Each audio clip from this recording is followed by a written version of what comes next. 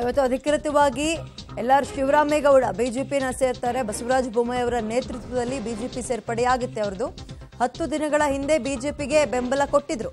ಈ ಹಿಂದೆ J D ಎಸ್ನಿಂದ ಉಚ್ಚಾಟನೆಗೊಂಡಿದ್ರು ಶಿವರಾಮೇಗೌಡ ನಂತರ ಪಕ್ಷೇತರವಾಗಿ ನಿಂತ್ಕೊಳ್ತೀನಿ ಅಂದಿದ್ರು. ಬಟ್ ಈಗ ಬಿಜೆಪಿಗೆ ಸೇರ್ಪಡೆ ಆಗ್ತಾ ಇದ್ದಾರೆ.